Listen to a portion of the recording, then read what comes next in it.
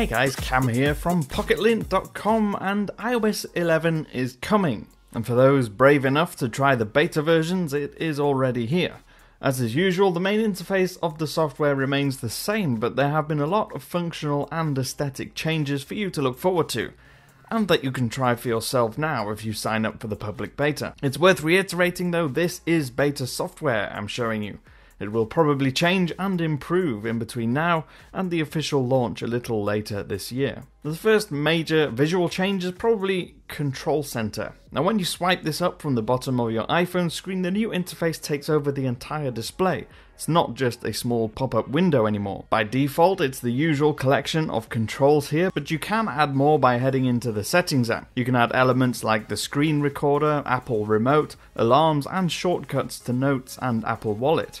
Apple Remote is particularly useful for Apple TV users and means you now no longer need to launch the separate app to control your TV. Using Control Center brings up a small remote interface up on the screen when you press it. Now, what's really cool is that you can force press a lot of these Control Center buttons to bring up its own dedicated full size control. The second change is Messages. Now, iOS 11 builds on the revamped messaging app launched last year with iOS 10.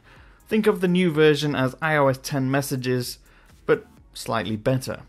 Sadly, two of the most exciting features aren't ready yet, and those are Apple Pay and true message syncing between devices. However, we do have two new screen effects to keep us happy for now, and you can swipe across on your conversations to reveal a new hide alerts option for stopping notifications coming through. iMessage apps are also easier to get through and live in the scroll bar at the bottom of the screen. Now, the third most obvious change is redesigned apps. The App Store has been given a new huge user interface revamp which now has a dedicated Today view showing off the day's best apps and various other highlights, including profiles of your favourite developers. This new design language with the bold text at the top kind of permeates through the entire user interface. You'll find it in Siri, Messages, Mail, the Music app, and a few other standard iPhone apps.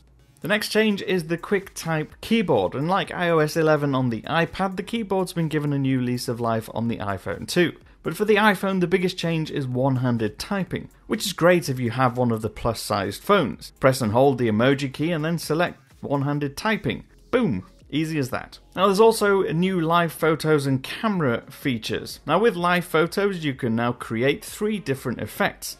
There's loop and bounce, which do what you expect them to do, but there's also a long exposure one, which basically uses the live photo to create a single blurred image. Now, the camera has some more filters and it compresses the images more efficiently, so they take up less space as well. Of course, there are other bits to look forward to, like the improved functionality of Siri, and there's the lock screen, which now gives you access to all of your notifications and not just the unread ones. You can swipe up to see all the ones you haven't cleared.